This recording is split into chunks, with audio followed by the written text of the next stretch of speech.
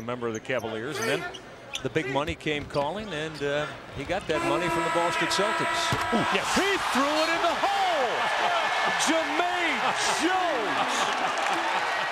How sensational was that? From about 59.